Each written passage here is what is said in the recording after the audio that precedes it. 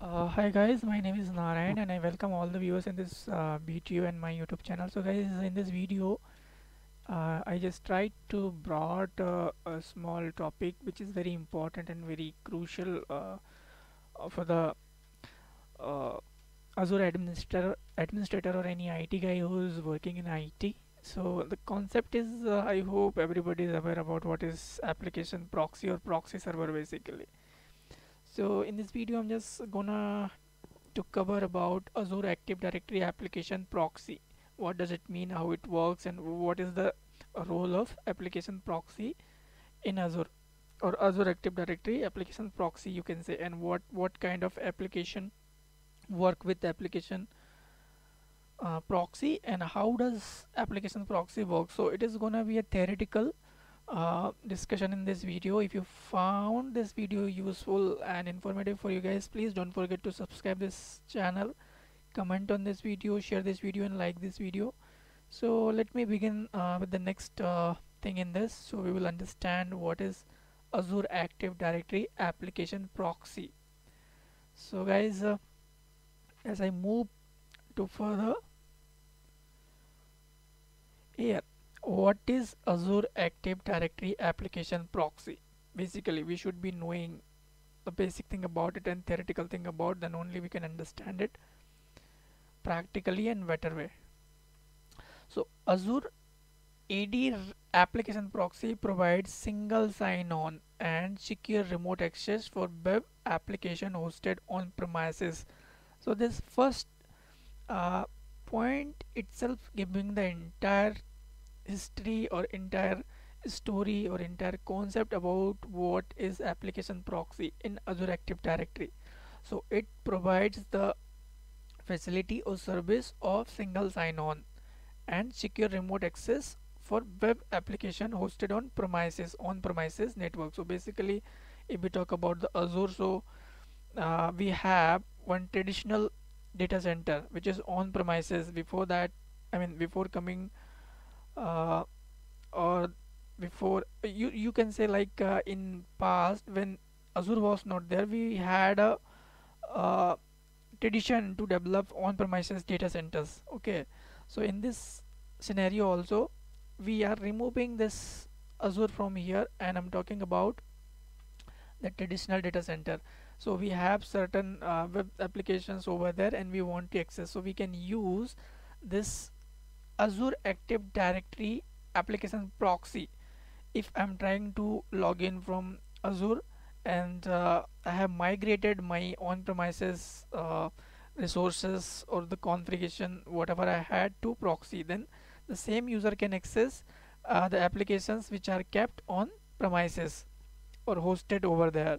So for that this Azure Active Directory application proxy will provide a single sign-on and secure remote access. Some apps you would want to publish include SharePoint sites, okay, uh, Outlook Web Access or any other LOB uh, web applications you have. These on-premises web applications are integrated with Azure AD. So whatever applications we have like uh, Office, uh, Outlook Web Access or SharePoint sites, so all are integrated with all these are at on-premises data center. Now we have integrated those applications with Azure AD. The same identity and control platform that is used by Office 365. Now next thing, end user can access your on-premises applications the same way they access of, uh, Office 365 and that software as a service apps integrated with Azure AD. So there is nothing in this with the help of this Azure Active Directory application proxy we can access both Azure based or Azure integrated applications which are kept on premises without any problem. You don't need to change entire network infrastructure or require VPN to provide this solution for user access. So we do not need to make any changes on our uh, IT infrastructure we just need to have VPN connection to access remotely or ExpressRoute connection for this kind of access if you want to access uh, anything which is kept on on premises and with the help of Azure Active Directory application proxy. Now why is application proxy a better solution? For that kind of scenario why we should use application proxy? This is the question. So guys Azure AD Wrap application proxy provides simple, secure and cost-effective remote access solution to all your on-premises applications. So this is my uh, on-premises application or uh, web uh, you can say the app server I have here and I am here Azure.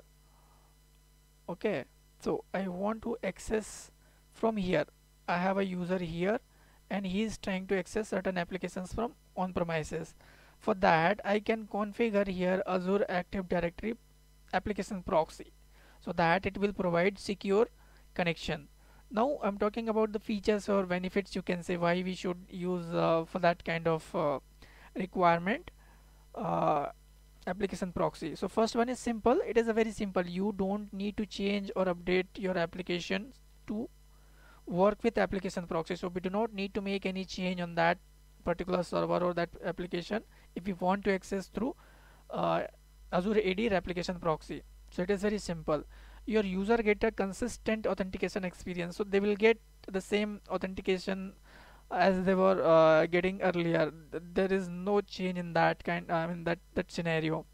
They can use the my apps as portal to get single sign-on to both uh, software as a service apps in the cloud and your apps on premises. So that the same user can access both uh, applications which are capped or which are available as a SaaS uh, software as an application service or if those applications are kept on premises environment. So there is nothing there is nothing to worry and for that they can use my app portal to get single sign on to both the applications or both the uh, sites they can access so this is how Azure AD uh, application proxy works and helpful. So this is very simple. The next one is secure. It is very secure high secured there is uh, nothing to worry about like insecurity and all.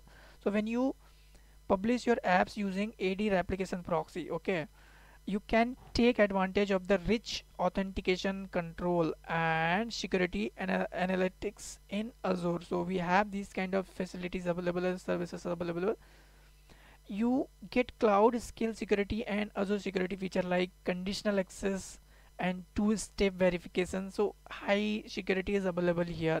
Now next things you don't have to open any inbound connection through your firewall to give your user remote access.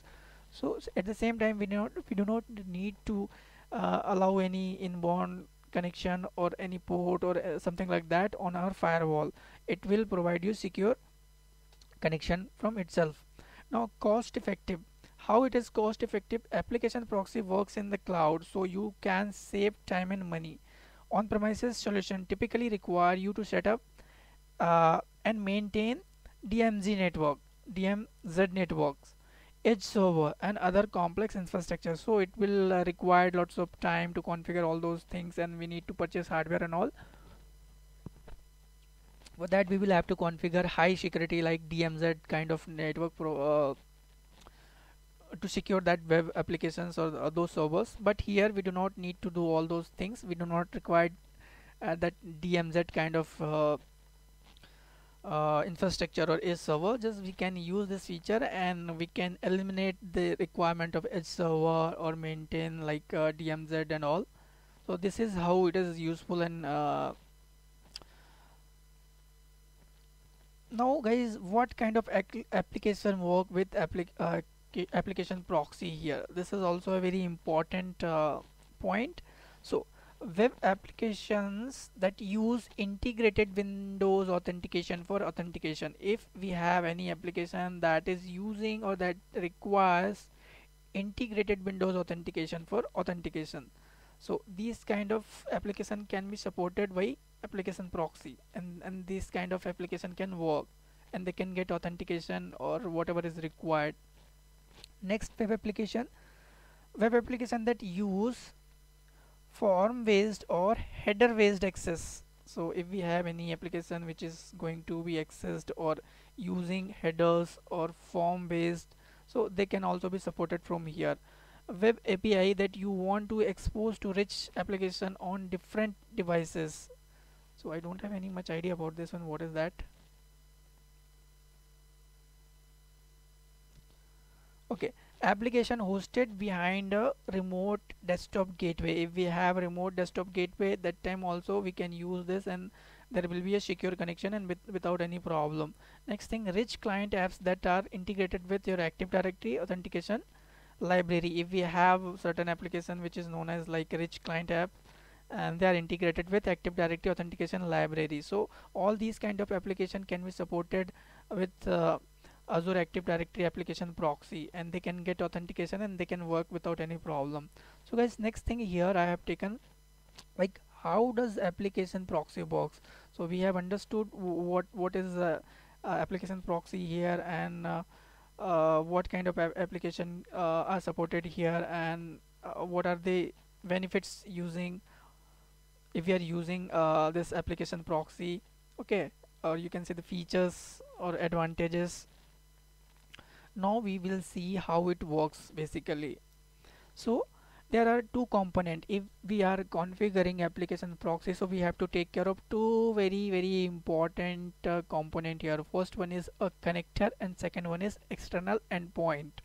These are the very important uh, component uh, which play a very crucial role or very important role. If we miss anything here so that this will not work. So how it works I will tell you. What does it mean by a connector and external endpoint here and how they play their role? So guys I'm talking about a connector here okay? What it is an external endpoint. So I will uh, this is a scenario. I will show you here and I will show you uh, the entire process how it works. So first of all we will try to understand what is a connector. So guys the connector or a connector mm, this one. The connector is a lightweight agent that is available or set on a Windows server inside your network.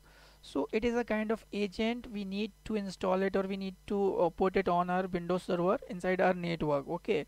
The very simple thing about it it is a agent lightweight agent. The connector facilitates the traffic flow from application proxy server in the cloud to your application on premises. So it is a kind of mediator. It will flow the traffic uh, from the application proxy service in the cloud to your application on premises. So I will show you I hope uh, it, it is uh, quite difficult to understand here how it is but in next slide I will show you.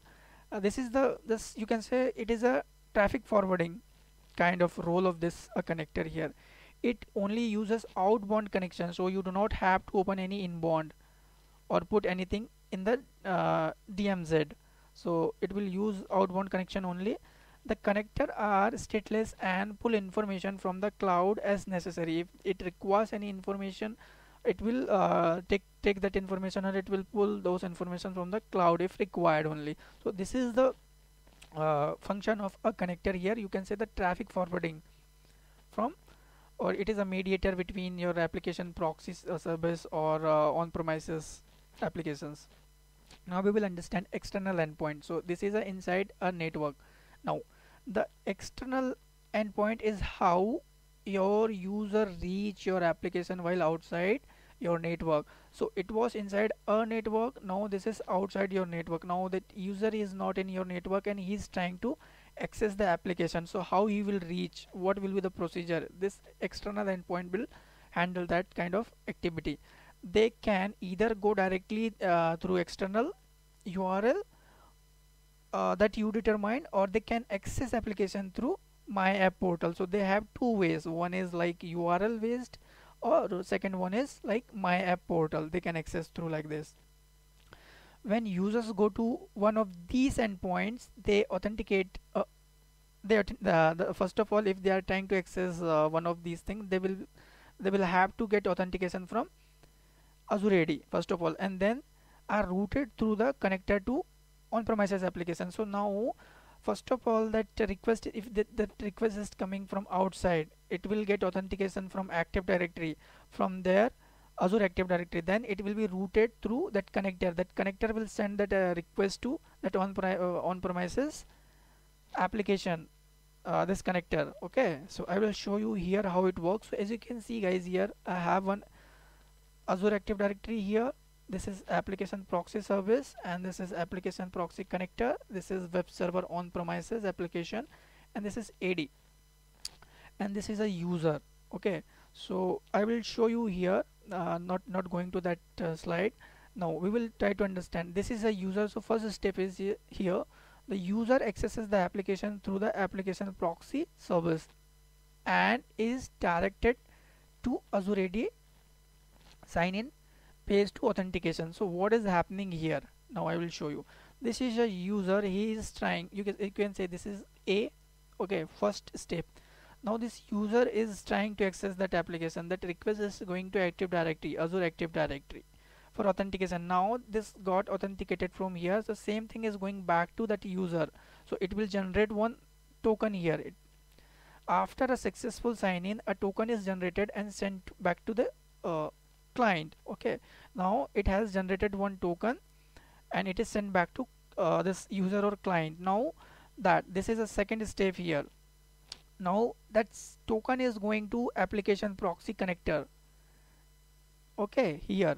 Now what will happen here? Third step the client sends the token to the authenticated proxy service which retrieves the uh, user principal uh, name UPN and security principal which is known as SPN from the token. So it will retrieve two information from here. First one is UPN and second one is SPN from that token. Then direct the request to the application proxy connector.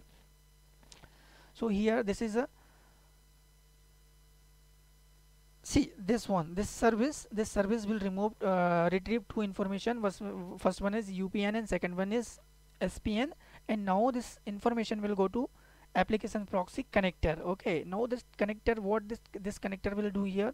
So first one is here. I will take different color here. Everything is becoming uh, same. Uh, let me take uh, black. So first is done here second is done here this third one is done here. Okay now fourth.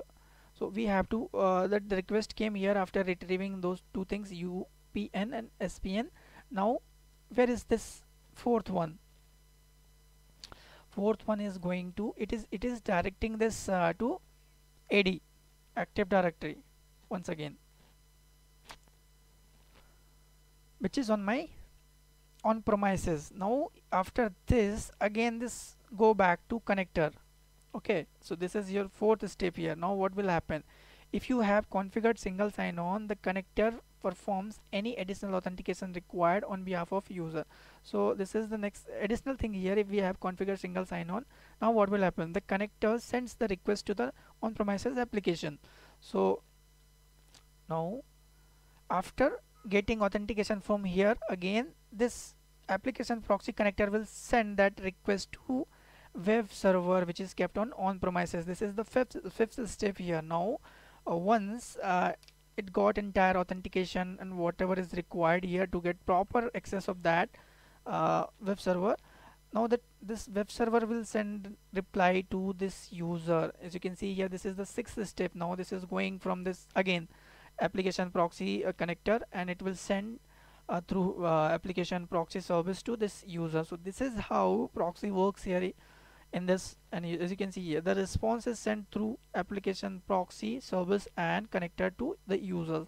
Now uh, this AD is not required here Azure Active Directory is not, not required because they have already given their uh, authentication and whatever was required from their end and this user is now able to access the web server remotely. So guys this is how uh, this application uh, proxy works here and I hope uh, this is gonna be informative for you guys and uh, helpful.